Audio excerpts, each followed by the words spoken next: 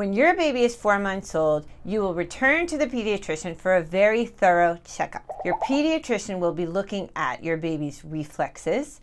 He will be looking at your baby's responsiveness when it comes to vision and sound. He will be weighing your baby, he will be measuring your baby, and administrating, in all likelihood, the vaccines that will apply to babies who are four months of age.